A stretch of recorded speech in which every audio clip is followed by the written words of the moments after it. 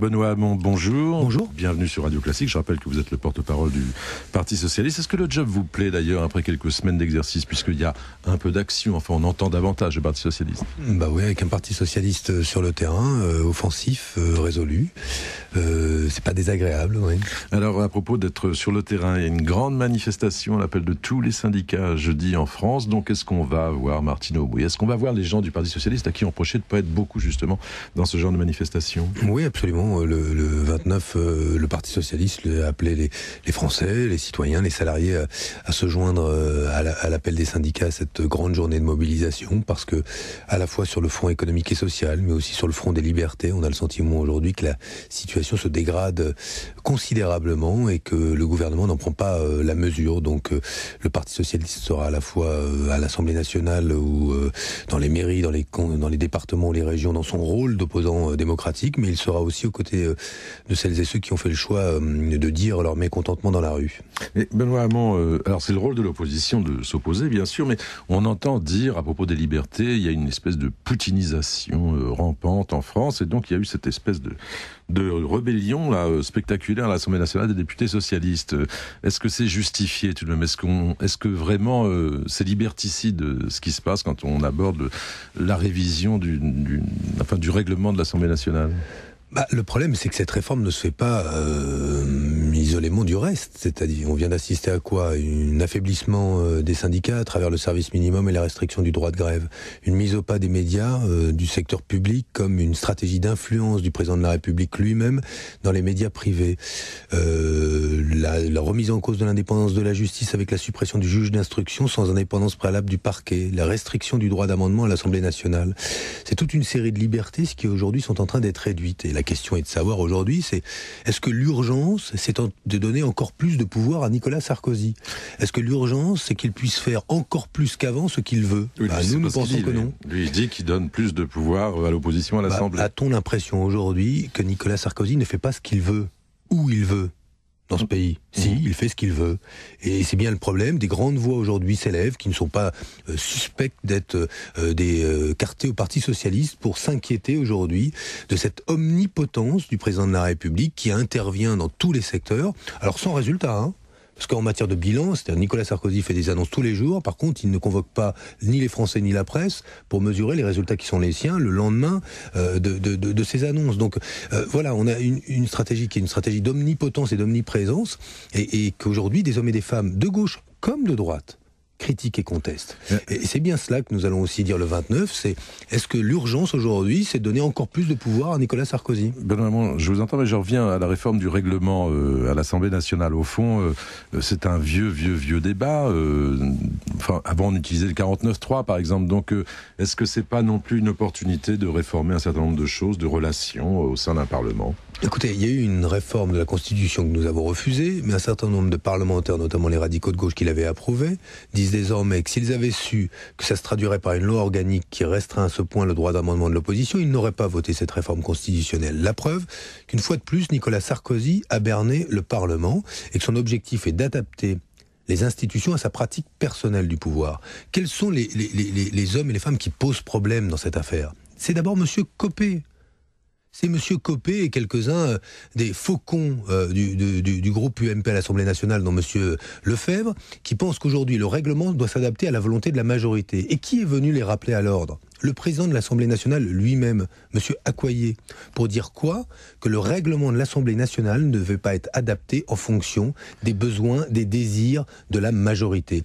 C'est pour ça que nous disons à M. Copé que comme il lui arrivera peut-être beaucoup plus tôt qu'il ne l'imagine de se retrouver à notre place, nous nous défendons aujourd'hui ses droits de futurs opposants en 2012. Qu'est-ce que ça dit du, du, climat dans le pays selon vous, Benoît Hamon? Bah, Ça dit que c'est tendu et que le gouvernement fait semblant de ne pas le voir vous regardez autour de vous euh, le matin, vous prenez votre voiture ou les transports en commun, euh, vous regardez quoi? Une situation de plus en plus tendue, où, que vous tourniez le regard, dans le public, le privé, chez les personnes âgées, chez les jeunes, ça va mal dans ce pays, et ça va mal au même moment.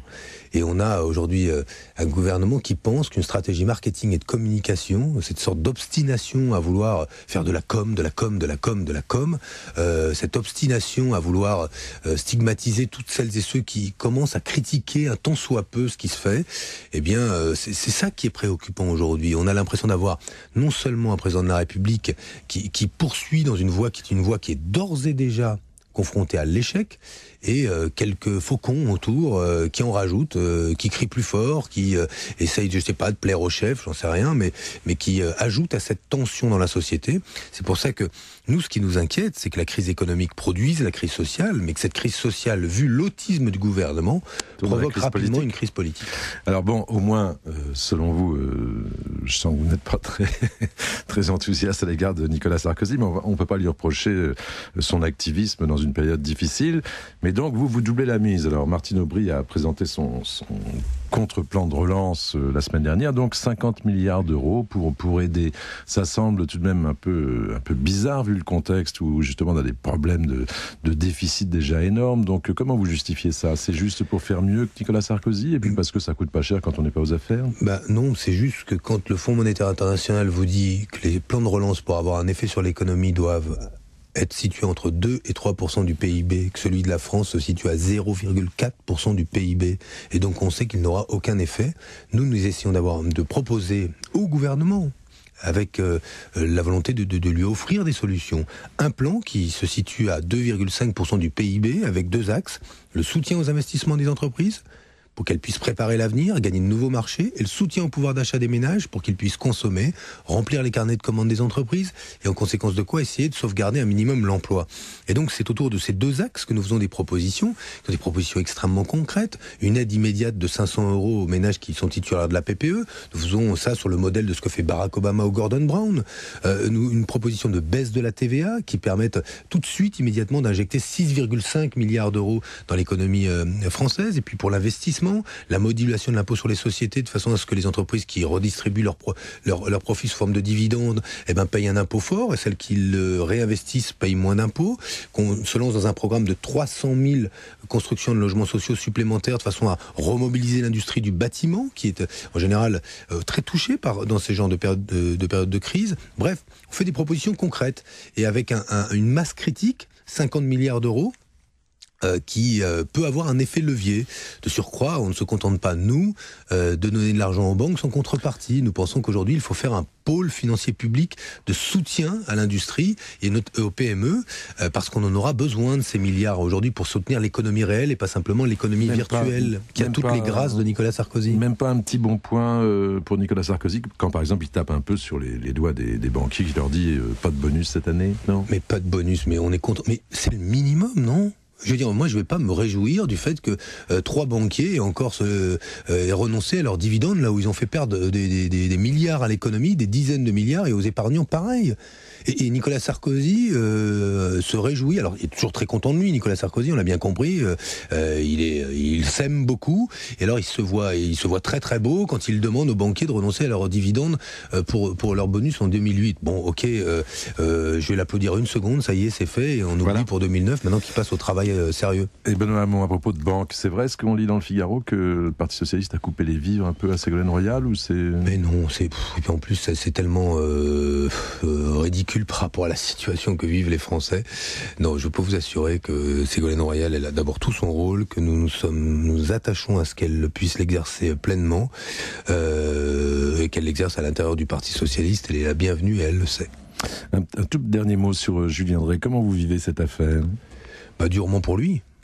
Parce qu'il n'a aucun moyen de se défendre aujourd'hui et que cette affaire est rendue publique dans des proportions qui sont des proportions invraisemblables. C'est qu'il n'a même pas accès au dossier et euh, il y aurait une vérité qui serait celle qui s'étale dans les colonnes des journaux ou sur certains sites internet, sachant que la sienne de vérité, on ne peut pas l'entendre. Mais qui profiterait d'une éventuelle manipulation? Ah, je ne sais pas, mais en tout cas, je sais qu'aujourd'hui, la conséquence de cela, c'est euh, d'affaiblir euh, politiquement un, homme et puis par ricochet euh, le parti auquel il appartient.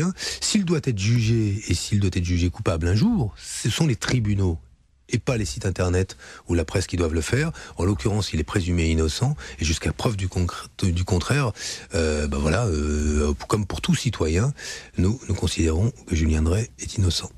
Je vous remercie Benoît Hamon et passez une bonne journée.